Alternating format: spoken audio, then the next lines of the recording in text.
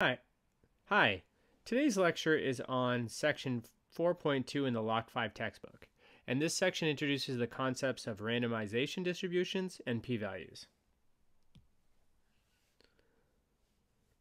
So the first important piece that you're going to learn in this lecture is about randomization distributions. You need to basically understand what we're assuming when we're creating them, why we're creating them, where they're centered, and how to use StatKey in order to create them. Then the other important concept, which is the bigger and most important piece here, are p-values. Why do we use them? How to calculate them from a randomization distribution, how we interpret them, and how and the alternative hypothesis can affect them. So let's begin with an example. So we talked about this last time in class. Um, and the example was suppose we are interested in studying whether there's an advantage to being the home team in baseball. A home field advantage would imply that there's a greater than 50% chance of winning at home. First, let's state the null and alternative hypotheses. So, the we'll write the null hypothesis H0 and we'll write the alternative as HA. And in order to write the null and alternative hypotheses, we first need to know our, our parameter. And as we discussed last time, in this case, our parameter is going to be the population proportion because we are interested in winning or not winning. And so that is a categorical variable. And categorical variables, we estimate proportions. So we've got a proportion over here and here. We know that the null hypothesis is always going to have an equal sign. And what is it going to equal? It's going to equal 50%, or as a proportion, 0.50. So we know the 0.50 is going to go down here. So all that's left to do is to figure out the sign. This, over here we see that it says is greater than, so that means we're going to have a greater than sign. So we see that as of October 10th, home teams won 18 out of the 33 games. What is our best estimate of the proportion of games a home team wins in the playoffs? So our best estimate, which is also our point estimate, is going to be p hat. That's going to equal the number of wins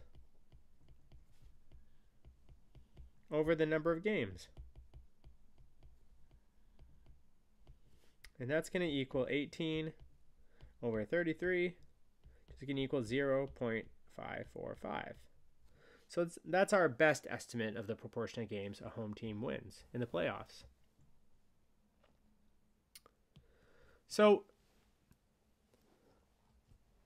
you may be asking yourself, wait a minute, why is the sample proportion not 0.50?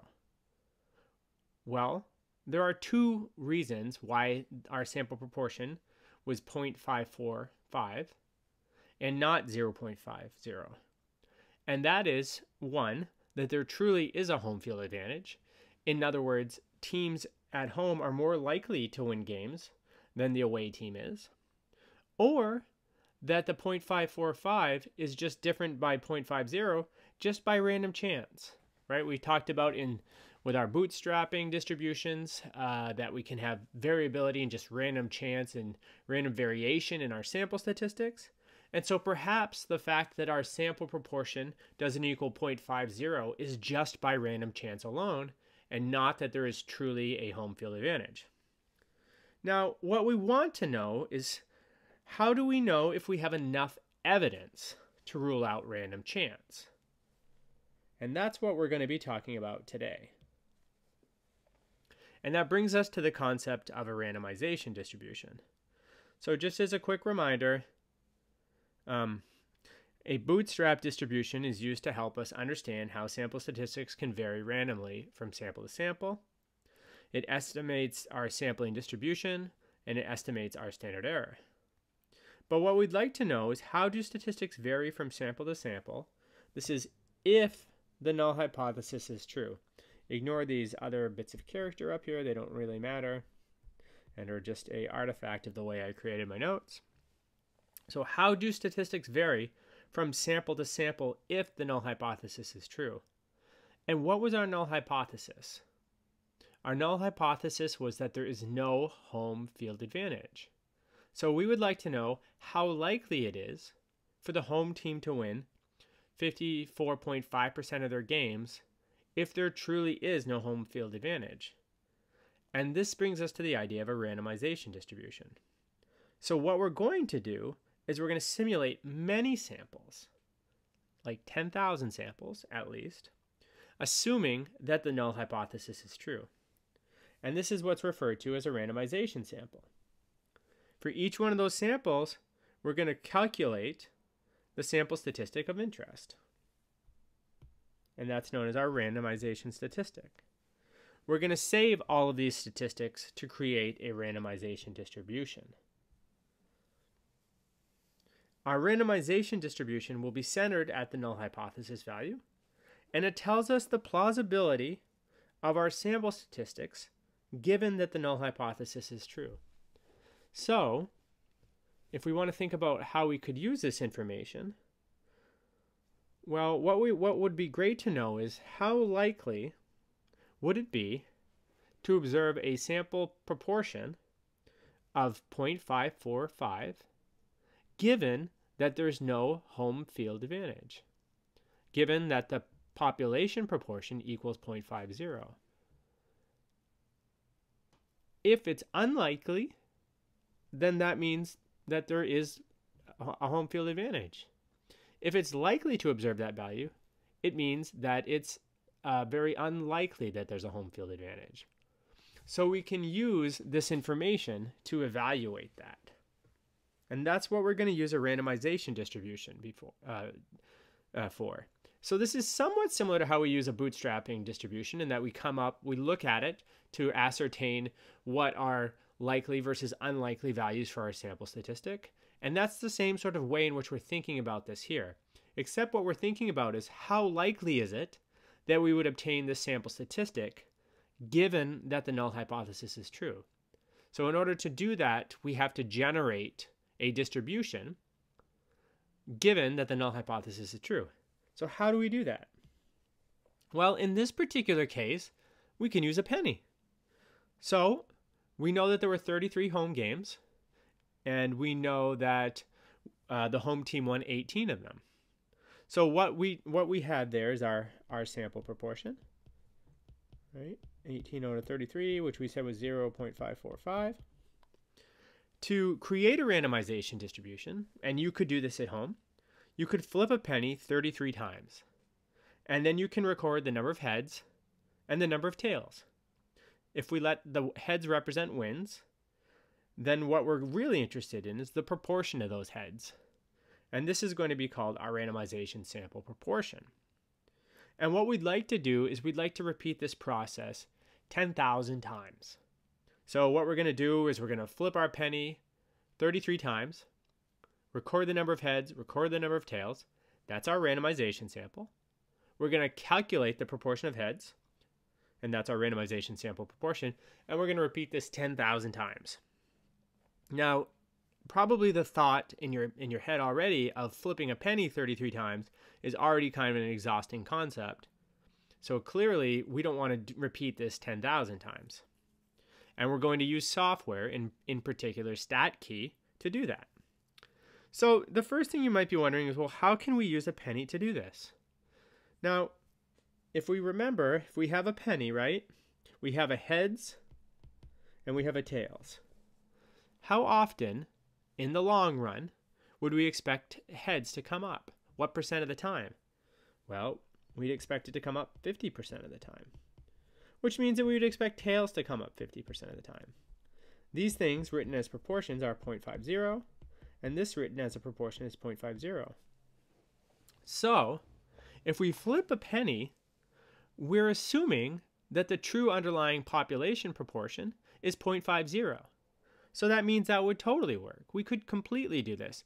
And the reason we can do that in this case is because our null hypothesis value was that the population proportion equaled 0.50. So clearly, any distribution that we create based on that is going to be consistent with our null hypothesis. It's going to it's going to uh, it's going to be a distribution that is going to occur given that the null hypothesis is true. So what if we instead decided to define home field advantage as greater than 60% chance of winning at home? So that would effectively change that null hypothesis to p equals 0.60 and our alternative to p is greater than 0.60. Well, we can no longer use a penny, right? Because our penny we expect to come up heads or tails 50% of the time, each one of them. Now, if we somehow found a unfair penny, one that could come up heads 60% of the time, then we could use a penny. But otherwise, we can't use a penny anymore. We could only use a penny in the situation where it's 0.5. Hopefully that makes sense to you. And we're not going to use a penny, right? We're going to use software to do this. So how do we do this in StatKey? So I've got a series of screenshots here that will walk you through this. So the very first thing you need to do that you need to notice that's different about um, the randomization distributions, which are also referred to as randomization tests, is that you need to determine what your population parameter of interest is. So again, here we're looking for a, a test for a single proportion because our null was that p equals 0.50 and our alternative was that p is greater than 0.50. So you'll click that button. It'll bring you here. And then what you need to do is you need to click that edit data button. Because by default it has this data in here that is data corresponding to this dog matched with owner data set, which is not what we're interested in. And and in the count, we're going to have add the number of wins. And then the sample size is going to be a uh, number of games. So 18 divided by 33, that's our proportion. So in other words, that's our numerator. You divide those two things and you're going to get 0.545. You click OK. And now you see that information reflected right here in our original sample. And we just talked about how you could create a randomization distribution by flipping a penny. So what we're going to do is we're going to allow StatKey to flip a penny 10,000 times. So we're going to click that generate 10, uh, 1,000 samples and we're going to click that 10 times. And then when we do that, it looks like this. So we've got a nice bell-shaped randomization distribution. We see that it is centered at 0.500 and that is expected because our null hypothesis, which is specified here, is 0.05. Now, in the instance where our proportion is not 0.5, we're going to have to go in there and we're going to have to modify that. But in this case, we can just use the default. So it's bell-shaped, it's 0.5. This is all really interesting and helpful right now. So what we want to ask ourselves in order to use this, before we formally introduce the concept of a p-value, is how likely or unlikely are these following values if there's no home field. So our original sample statistic is 0.545. How likely or unlikely is that value? So if we were to come over here and we were to say it's like right here is where our, our value is. Um, and actually it's probably it's probably this value here because of the fact that we're dealing with a, a value. Well, we can see, in fact, that that one particular value is very likely to occur. And that if we consider all the values that are even larger than that value, those are all very likely to occur. So that would mean that this is in fact a very likely outcome to observe. How about 0.8? How likely is that value to occur? Well, we don't even really see 0.8 on here, do we? This value right here is probably lower than 0.8. 0.8 is probably really like right here. So, given that there's no home field advantage, and as a reminder, this is a randomization distribution that is created given that there is no home field advantage, given that the population proportion equals 0.5, that would be extremely unlikely to observe. Extremely unlikely. 0.545, very likely to occur. How about a 0.650? Well, that value is like right here, right? Well, that value looks to be a little bit less likely. Right? It's certainly less likely at 0.45, 0.45, but it's definitely more likely than 0.80. But how likely is that? We want a way in which we can quantify that. And just to make it clear too, because I'm not sure if I did when I was when I was showing this, that this is the amount of variation we would expect in our sample statistics given that there's no home field advantage. So it would be very likely that a home field team would win 0.45 um, of their games. It'd be very unlikely for them to win 0.80, and it would be somewhat intermediate for them to win uh, 0.650, given that there's no home field advantage. In other words, given that these results just occurred by chance. So, what we would like to know is how unusual would a home team winning 54.5% of their games be if there was no home field advantage? This introduces us to one of the most important and one of the most misunderstood concepts in statistics. This is the p value. It is such a cr- crucially important concept and it is so misunderstood. Um, and I suspect that many of you, when learning about this, will be very confused about it as well and will misinterpret it, and that's okay. Um, I have worked with many, many, many students, many graduate students, many faculty who still misunderstand this concept. And so I would encourage you to, until you understand what the words mean, is pretty much to repeat it verbatim as it's written here. So the p value says, given that the null hypothesis is true, the probability of observing a statistic as extreme or more than uh, as extreme or more than that observed. So, given that the null hypothesis is true, the probability of observing a statistic as extreme or more than that observed. In statistic, for the statistic over here, if you wanted to, you could also put in the word sample. That also works the probability of observing a sample as extreme or more than that observed. That language is still the same. And later on, we'll be talking about test statistics. Right now, we're talking about sample statistics. And so that's sort of why I dropped off the first word there, the word sample. But really, what we're talking about is the probability of observing a sample statistic as extreme or more than that observed, given that the null hypothesis is true. So how do we use the randomization distribution to do this? We're going to calculate the p-value by determining the proportion of the simulated statistics as extreme or more than the observed statistic. So how do we do this in StatKey?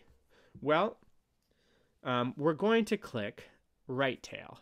And the reason for that is that we're interested in the values that are greater than 0.50, right? So we had a null hypothesis, which was that our, our population proportion is 0.5, and an alternative that it's greater than 0.5. So no home field, no advantage, advantage. So if we're trying to find values as extreme, we want to do a right tail because it has this greater than sign. So we know we want to go to the right. So when you click right tail, it shows this by default. But we need to do a couple things. We first need to click on this button, and when you do, this dialog pops up. And what you want to put in here is your sample statistic. In this case, we want to put in p hat. In other situations, you're going to want to put in x bar, or you're going to want to put in the differences between the p hats, or the differences between the x bars, or your correlation. But in this situation, we want to put in p hat.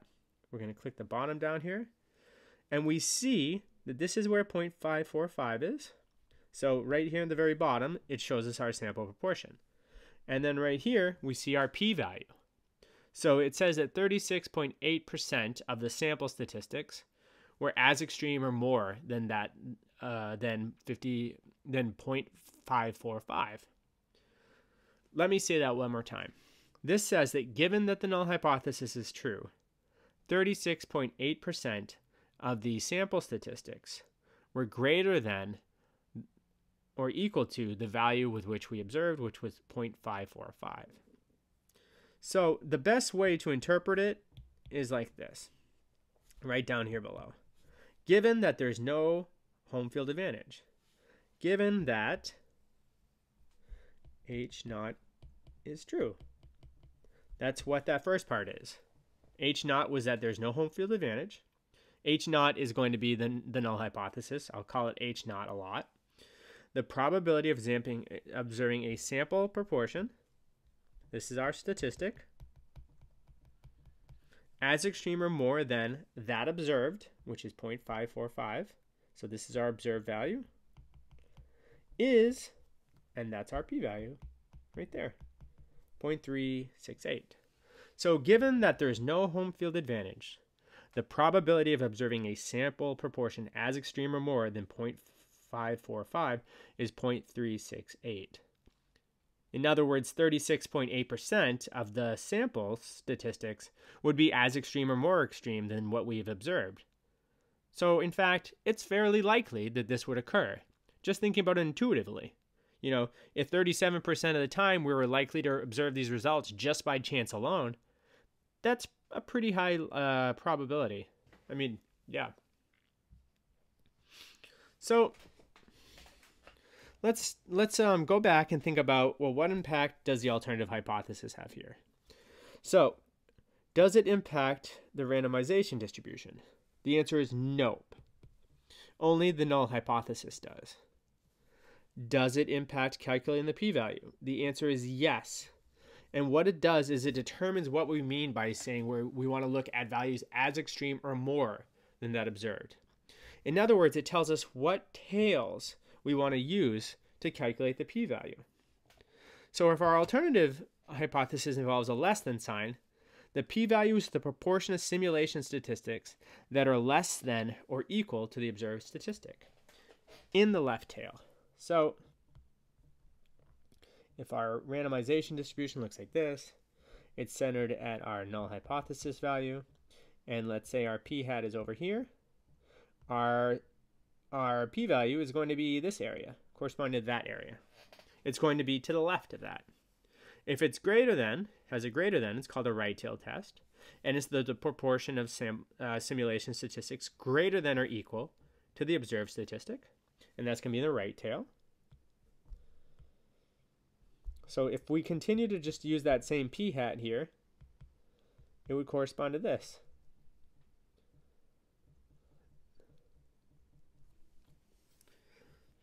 it involves a non-equal to sign, called a two-tailed test, then what we do is we look at the smaller tail, or beyond, um, we we excuse me we find the proportion of simulated st statistics in the smaller tail at or beyond the observed statistic. And to find the p-value, what we're going to do is double that number. So, again, if we're here like this, and here's our p hat, if this value is 0.02, for example, that would be our p-value for the left tail test. Our p-value for the right tail test is going to be 0.98. The reason is that that whole area under there has to sum up to 1. And for the two-tailed test, it's going to be 0.02 times 2, which is 0.04. So the alternative hypothesis that basically is going to determine what tails you look in. So you may be asking yourself, Chris, why would I ever use a tail, look at a look at a alternative hypothesis uh, based on um, and end up in sort of this situation where we're right here in number two, where my p-value could be monstrous. And the reason is that when you generate your alternative hypotheses, you do this before you collect data. In many times, the way we do this in class, or how it might feel like, is that, well, we've collected data and now we're going to construct an alternative hypothesis based on that. But the fact is, in some situations you have directionalities that you expect. Like, for example, when we were talking about the eating disorder program, we would expect that the eating disorder program should reduce the number of eating disorder symptoms.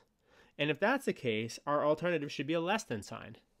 Now, maybe we think it's going to reduce the number of eating disorder symptoms, but maybe it's not going to reduce the way in which people feel about themselves. So, or, or maybe their body mass index, uh, which is a measure of your weight to your height ratio. So if we don't know what direction that's going to impact them, that they're going to maybe they're going to have a smaller BMI or a greater BMI, we just expect the BMI might change. In that situation, we would use an alternative. Now, for you right now, it should be clear from the context of the problem what kind of uh, what kind of uh, alternative hypothesis it is, and in many situations, just a matter of a lot of practice doing this. And you're going to be doing these over and over and over again for the rest of the semester. Now let's work through two examples. The first example looks at the effect of caffeine or naps on word recall. So a random sample of 24 adults were divided evenly into two groups and given a list of 24 words to memorize. During a break, one group took a 90 minute nap while the other group was given a caffeine pill. After the break, the number of words that the participants were able to recall was recorded. The mean number of words recalled for the sleep group was 15.2 and for the caffeine group it was 12.2. Was there a difference in the conditions on word recall? So, first of all, what are the parameter and the statistic of interest here? So we want to know is there a difference in the conditions on word control? So that difference should already have you thinking I'm looking at a difference in means or a difference in proportions. Now you can see here that we have two sample means, so you should know that we're dealing with a difference in means. Another way to know that we're looking at a difference in means is that we have a categorical variable, which is the condition they're in. So it's either caffeine or a nap. And we have a quantitative variable, which is the number of words they recalled. And so this class, so far, we've talked about if you have a categorical variable and a quantitative variable, you're always dealing with a difference in means. So we know we're dealing with a difference in means. So what's our parameter? It's going to be, say, mu of sleep minus mu of caffeine. And our statistic of interest is going to be x bar of sleep minus x bar of condition. So what are the null and the alternative hypotheses here? Our null hypothesis is going to be that mu sub s minus mu sub c equals 0 which we could also write as mu sub s equals mu sub c. Those are mathematically equivalent, as I, I mentioned before. If you just add the mu sub c to um, to both sides of the equation, it moves over to the other, to the right. And then our alternative is going to be what? What should that be here? We're just saying, is there a difference? We're not saying that one of them should increase or decrease, and because of that, we're going to have a not equal to sign. And these are our null and alternative hypotheses. Note you only have to write either, you know, set 1 or set 2. You don't have to write them both. If one of them makes it easier for you to conceptualize, please by all means go ahead and do that. I think the set 1, the ones on the uh, left, are going to be helpful when we start talking about actually writing and calculating test statistics. But either one that helps you, go with that one. They're they're equivalent. So how do we find the p-value in StatKey? So let's go back to StatKey. So here we are in StatKey. Now we're, we're looking for a randomization hypothesis test. So we're in the rightmost column. We know we're looking for a test for difference in means, so we'll click that. And first thing we need to do is find our data set. So we're going to click where it says leniency and smiles, and we're going to find sleep caffeine words. And we're going to see here that we have the caffeine mean is going to be this group one. I mean, not caffeine mean, excuse me. The caffeine group is going to be group one. S sorry, I said that wrong. The sleep group is group one, and the caffeine group is group two. And we see that the mean for the sleep group is 15.25 and the mean for the caffeine group is 12.25. Their difference in means is 3, which is shown above, and we see that there are 12 subjects in each group. And so what we'll do is we'll generate a randomization uh, distribution for the difference in these means. So before I do that, one thing you may be wondering is, well, how do you actually create a randomization uh, sample?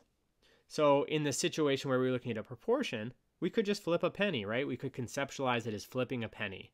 But but what is how is this going to work in the situation where um, we have two separate groups and we're trying to look at the means? Well, in this situation, uh, and we'll learn about this in more detail. I think in section 4.5 in your text is where they cover it. Maybe it's maybe it's I think it is 4.5. Ultimately, what we're going to do is we're going to put say both the sleep and caffeine groups together into a, a into like a hat, and we're going to label 20 of the tags. Uh, um, sorry, we're going to put the sleep and the caffeine people into a hat and we're gonna and we're gonna pull out the first 12 we're going to assign to a caffeine group and then the next 12 will assign to the sleep group. And by doing this we're essentially randomizing the label of caffeine and sleep so that any differences that we might observe between the two are going to just be occurring by randomness. And we'll talk about this a little bit more and i don't want to spend too much time going on this digression I'm happy to talk about this in class too. So we'll generate 10,000 samples. 1, 2, 3, 4, 5, 6, 7, 8, 9, 10. So we've done this now. So the first thing we need to do is we need to determine, and, and note that this is centered at 0. If you look up here, we see that the mean is 0.028. That's approximately 0. And it's bell-shaped, which is going to have importance later on. And so the first thing we need to do is we need to determine what kind of a test do we have. A left tail test, a right tail test, or a two tail test. Well, our alternative was a not equal to sign, so it's two tail. And our sample mean is what we need to put in for the value down here. And so where it says 2.833 on the right, we should put in the value of 3. And then click OK and hit enter. And so we're seeing that that value is 0.025. And so, and this should, um, oops, sorry. So our p-value is going to be 0.025 times 2. Our p-value is going to be 0.05. So how do we interpret that? We say, given that the null hypothesis is true, the probability of observing a difference in uh, the probability of observing a statistic as extreme or more than that observed is 0.05.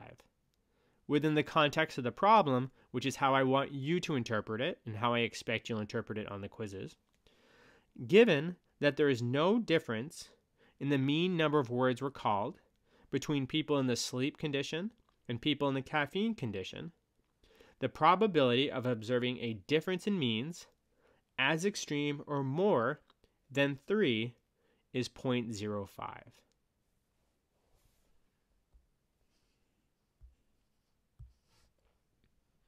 So we'll do one more and then we'll um, we'll be done for the day. Do women play less video games than men? A Pew Research study, con- uh, this should not be there.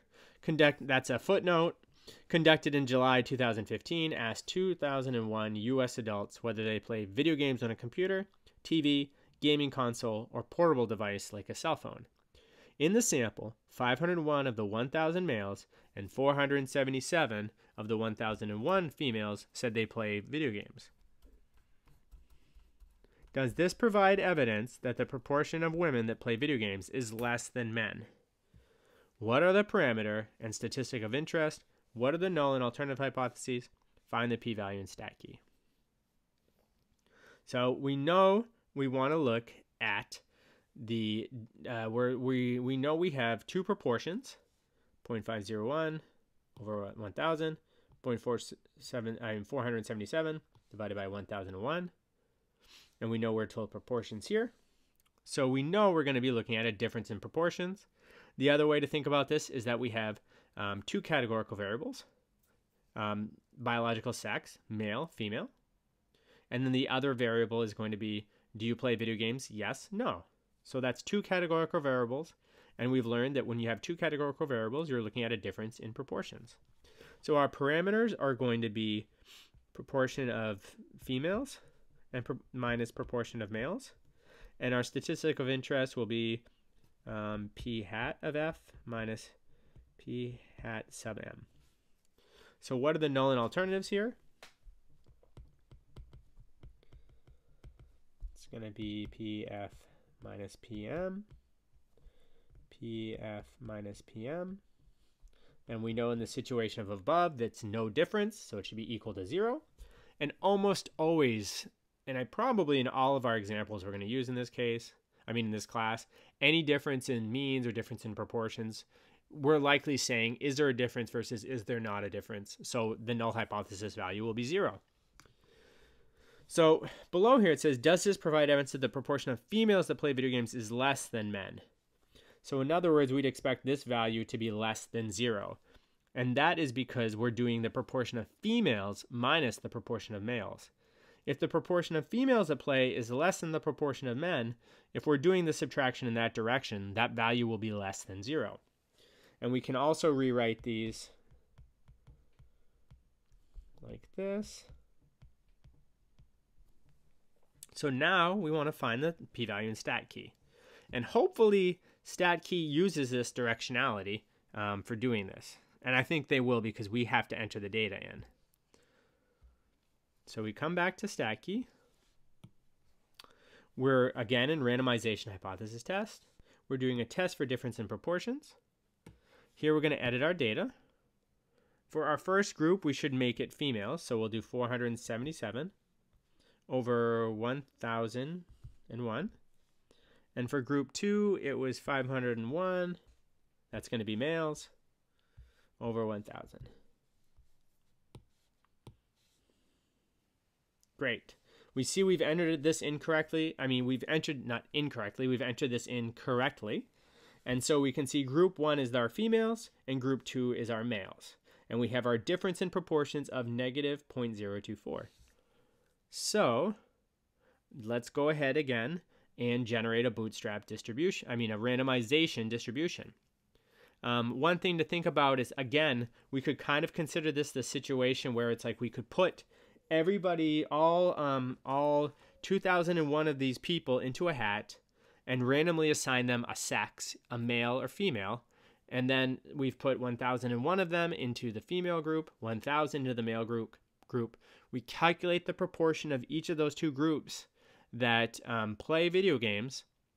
And because we've randomly assigned their sex, any difference we would expect would occur just by random chance alone.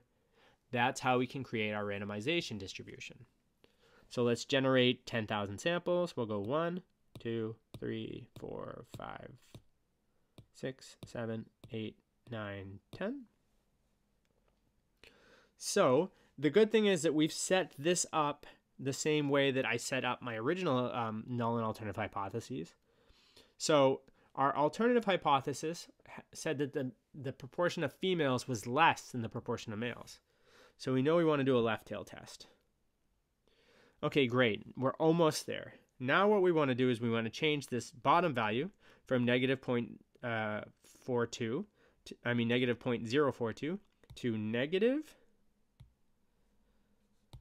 0.024, our sample difference in proportions. Click OK and hit enter, and we see our p-value is 0.142. So, given that the null hypothesis is true, the probability of observing a statistic as extreme or more than that observed is 0.142. In the context of the problem, given that there is no difference in the proportion of females and males that play video games, the probability of observing a difference in means of negative 0.024 is 0.142 or 14.2%. So next time what we're going to do is we're going to try to get a sense of well is 14 is 0.142 is that big or is that small? Hopefully you already have some sort of intuitive sense as far as whether or not you think that that's big or small. But that's really what we're going to be talking about next time when we start talking about a concept called statistical significance. Like always, if you have any questions, please come to class with them or to feel free to send me an email. Have a great day.